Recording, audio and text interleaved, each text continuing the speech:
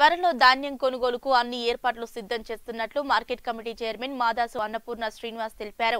గజ్వేల్లోని స్థానిక మార్కెట్ యార్డ్లో వడ్ల కొనుగోలు కేంద్రాన్ని ప్రారంభించేందుకు గాను ఏర్పాట్లను ఆమె పరిశీలించారు. ఈ సందర్భంగా ఆమె మాట్లాడుతూ ముఖ్యమంత్రి కేసీఆర్ ఆదేశానుసారం ఎటువంటి ఇబ్బందులు తలెత్తకుండా అన్ని ఏర్పాట్లు చేస్తున్నామన్నారు.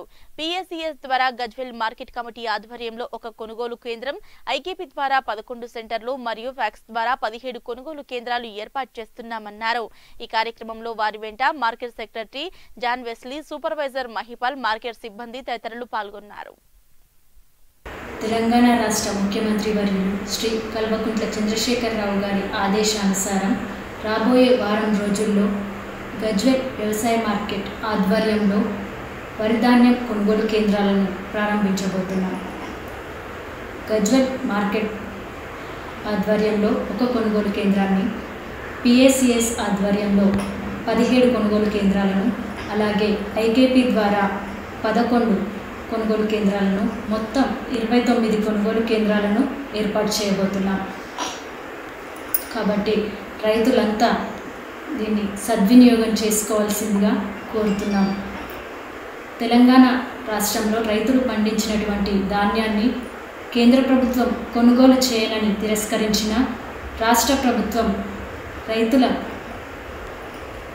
ఎటువంటి రైతులు ఎటువంటి ఇబ్బందులు పడకూడదు అనే ఆలోచనతో వారు పండించిన ధాన్యాన్ని కొనుగోలు చేసేందుకు గ్రామ గ్రామాన కొనుగోలు కేంద్రాలను ఏర్పాటు చేస్తుంది. అదేవిధంగా వారి వారు పండించిన ధాన్యానికి ప్రభుత్వం ఇస్తున్న మద్దతు ధర ఒక క్వింటాలకు పంతొమ్మిది వందల అరవై రూపాయలు. రైతులు వారి ధాన్యాన్ని పద్నాలుగు శాతం తేమ ఉండేలా ఆరబెట్టుకొని కొనుగోలు కేంద్రాలకు తీసుకురావాల్సిందిగా కోరుతున్నాను. దాదాపు గజ్వెల్ మార్కెట్ పరిధిలో ఐదు లక్షల క్వింటాళ్ళకు పైగా ధాన్యం వస్తుందని అంచనా వేస్తున్నాం. వారి రైతులు పండించినటువంటి ధాన్యాన్ని కొనుగోలు చేసేందుకు అవసరమైన ప్యాడీ క్లీనర్ క్లీనర్లు కాంటాలు అదేవిధంగా మాయిశ్చర్ మీటర్లను వారికి అందుబాటులో ఉంచుతున్నాం.